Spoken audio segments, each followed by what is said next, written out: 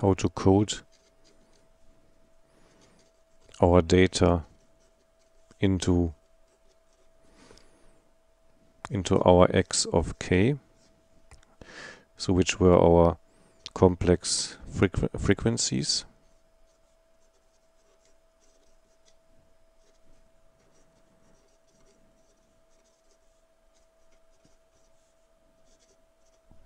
So how do we do that? And the idea should should be quite familiar now. So the x of x of k, these are complex numbers.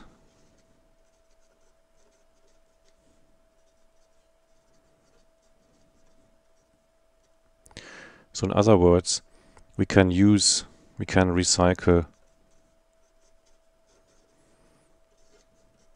quadrature amplitude modulation, recycle QAM. Because in QAM we've done exactly that. So in QAM we have a real part and we've got an imaginary part.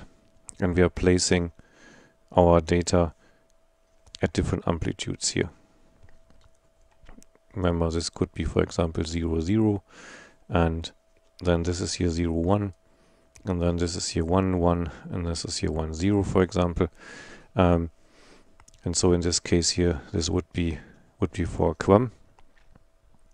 And so and so very simple. So essentially for every if we if I just draw here the um, inverse Fourier transform again, so the IDFT. And so now we've got all these complex numbers coming in here. So these are our frequencies. So that's our x of k and um, every x of k is just coded via QAM. So we do that with with all the different x of k's and we are able to put loads of data in it here.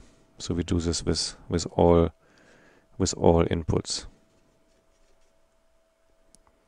So all x of k. And then obviously the output the output is our is our symbol then, which is having all the information of all these all these QAM inputs here.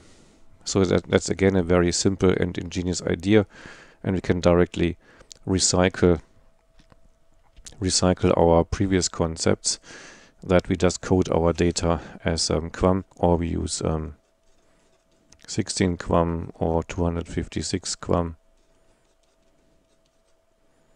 or essentially any other modulation scheme which is work which works in the complex plane.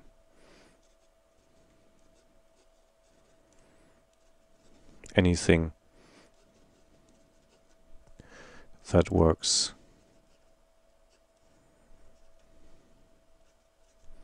works in the complex plane.